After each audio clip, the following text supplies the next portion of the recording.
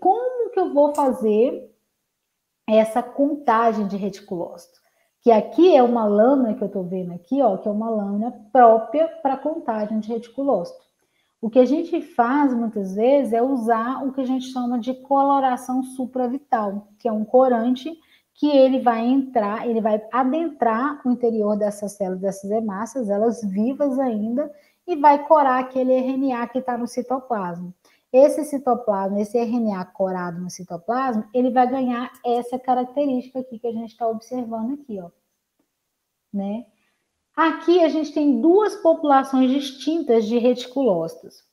Esses reticulócitos que estão com as setinhas verdes, o que, que vocês podem observar neles? Que a gente, eles estão corados, né, com, a, com azul de metileno, né?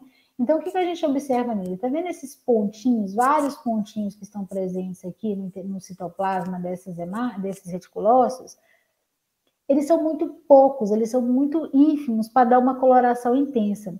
Então, isso aqui, quando você joga isso aqui num, num, num, esfregaço de panótico, por exemplo, ele não vai apresentar policromasia ou policromatofilia, ou seja, ele não vai mostrar, ele não vai se mostrar ser aquela célula azulada ou arroxeada. Pelo contrário, ele vai estar da cor que é uma célula, uma hemácia madura. Diferentemente dessas células aqui que apresentam uma maior quantidade de RNA.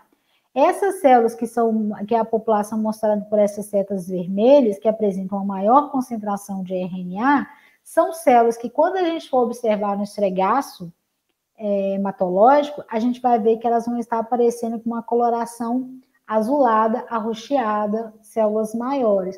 Por quê? Porque elas têm uma grande concentração de RNA e esse RNA tem uma grande afinidade pelos corantes panóticos, que aí ele vai, ganhar, vai adquirir aquela coloração mais azulada. Isso aí a gente é o que a gente chama de policromatofilia ou policromasia e que tem que ser liberado no laudo, sim.